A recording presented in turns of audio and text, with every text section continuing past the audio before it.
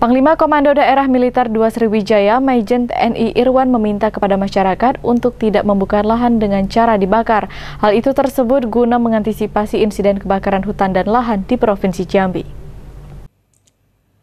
Akibat kembali maraknya aktivitas kebakaran hutan dan lahan dalam beberapa hari terakhir, Pangdam 2 Sriwijaya Maijen TNI Irwan meminta kepada masyarakat untuk tidak melakukan aktivitas perluasan lahan dengan cara dibakar.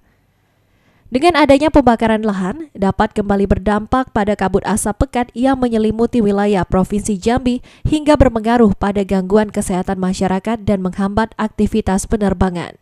Oleh BPPD, dari pemerintah daerah, dari seluruh unsur, Angkatan Udara, dari semua unsur membantu bagaimana uh, asap ini tidak uh, menyelimuti kota-kota yang uh, besar, terutama Jambi dan Palembang karena akan mempengaruhi kondisi kesehatan masyarakat yang berada atau yang terselimuti oleh asap itu juga akan mempengaruhi penerbangan, mempengaruhi ekonomi, dan mempengaruhi semua sendi kehidupan masyarakat.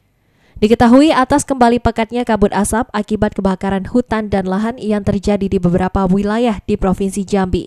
Langit Provinsi Jambi dan Sumatera Selatan kembali ditabur garam untuk membuat hujan buatan. Asar Patahangi, Cek TV melaporkan.